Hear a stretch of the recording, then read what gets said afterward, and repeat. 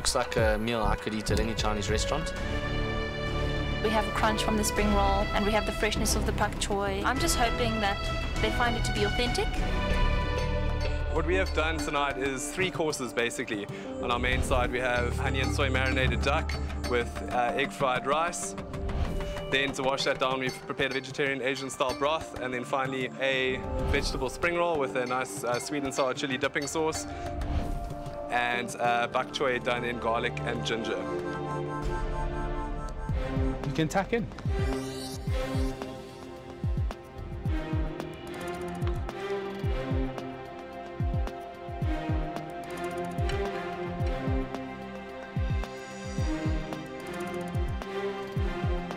Chef Song, what do you think of the presentation? I feel the bowl is too big for this uh, sauce bowl. For the dipping sauce? The sauce? dipping sauce. Yeah. It's too big. The taste wise, okay, but there's some ginger inside, quite fresh with the vegetables. It's quite nice. The spring roll, well, mine a little bit on the burnt side. There was a bit of the uh, crispy burntness. The taste is a bit bland for me. Yet relying too heavily on the dipping sauce, and, and the dipping sauce is playing too much of a hero, and the spring roll is supposed to be the hero. Correct, yeah. Should we try some of the broth? Well, I'm going to check on Andrew's table. You guys just had the spring roll. What are your thoughts on it? The spring roll, it must be full. Yes. You never half full a spring roll. So, because then it collapses. Yes. So when you pull it tight from both ends, you roll it strongly, it must be round. It will never be flat like that.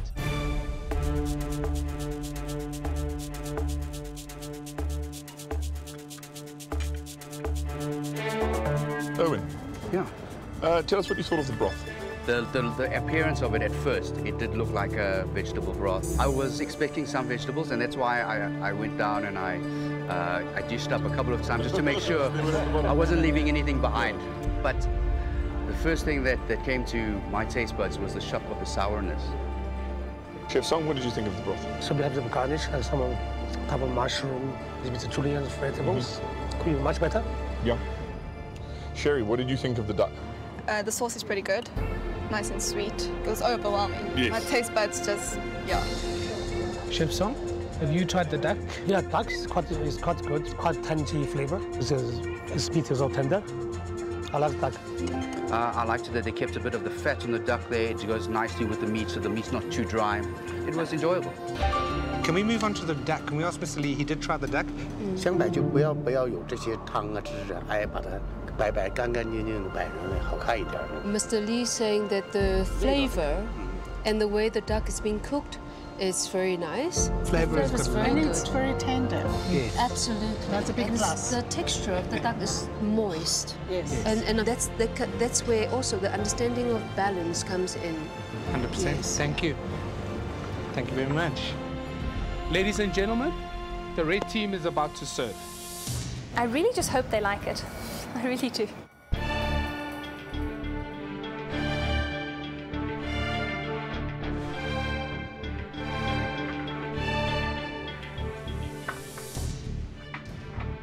I think that we have crunch, texture, and depth of flavor in our dishes. Today we had a lot of fun cooking with duck, and um, one of our dishes is a sweet chili with sesame duck topped with wonton crisps. The other bit is a duck neck, which is honey, ginger, and soy sauce.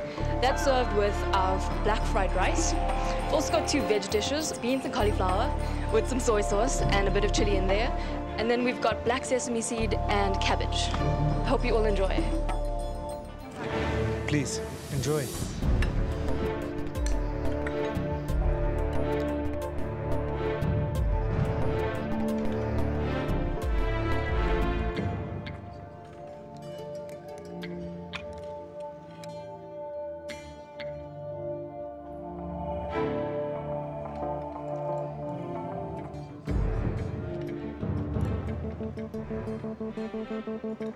Okay, guys, I can see that you've already tasted all the dishes that are on the table. Now it's time to break it down. This is far more a following of the brief. It's a duck dish with garnish. as opposed to three courses, which the soup and the spring rolls were. So this makes more sense, especially for us to eat it as we would, as you would do with an Asian summer. You'd eat all the elements together on the plate because that's it's a duck dish. So this makes sense how they've served it. Yeah. I have never eaten the, the, the black rice um, uh, before as a, as a main course. Uh, normally as a, as a dessert and that. It normally is done as a pudding, like as a, a, like pudding, a creamy dessert, pudding. yes, yeah. So you mix it in. The, the appearance wasn't quite Asian enough for me, Mm-hmm. but the flavors and the wonderful textures, the mixed together and, and eating it as a whole meal, you know, it worked for me. Mm-hmm. The duck neck, for me, it was a bit too rubbery. Like it was hard to chew on. Like felt it wasn't cooked properly. Chef Song, what, did, what is your impression of the duck? I think in general, um, it's one of the dishes I feel is quite good, Mm-hmm. tasting and very good. This uh, honey ginger Mm-hmm. duck, so I think it's quite good. You get something crispy, and especially this duck, very tasty. If there's a dish in the restaurant, I will buy. Yep. Hi, guys. So what are your thoughts? I love the look. As soon as they put the dishes down, my eyes went big and I thought, wow, this is really good looking food. 这个菜跟米饭加个呃这个芹菜，这个这个白菜这样做也很好，这样搭配也很好。 He's saying that um, the rice and the duck and the two accompanying vegetables is a good complement to each other. To me, it's a lot of cliche. Why must Chinese food be covered with deep fried wonton skin? I never cook eat Chinese food like that. Why is something nice like a Chinese cabbage lightly stir fried and you must put some black sesame seeds to destroy it? Unfortunately, my favorite duck neck is undercooked. As it stands, for a team to win, you need four votes. We need one more vote to win this challenge. Blue team, so you still need two more votes to win this challenge. Chef Song, it's your time to vote.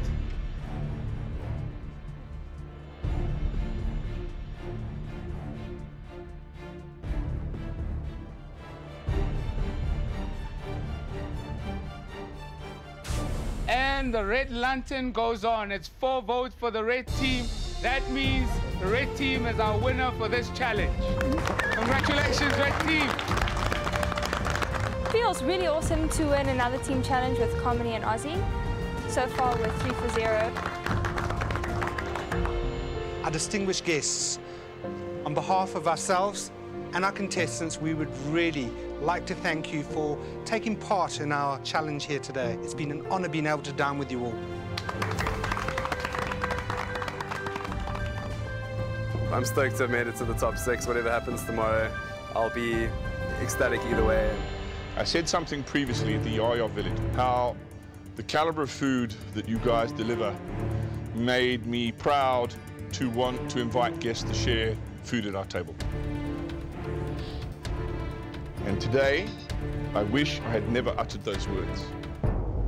The food that you presented today was abysmal. The broth, I have tasted more fragrant seawater, burnt spring rolls. I don't care what you thought they tasted like. You insult our guests by serving that garbage. And to serve almost raw duck necks. Today, as far as I'm concerned, you are all losers. It's top six, and that's embarrassing. You guys need to concentrate. You need to make sure that plate of food is the best plate of food you have ever served in your life. You need to get your game back on. We need the A game of this top six in MasterChef. I agree with them, uh, and I actually really appreciate their honesty.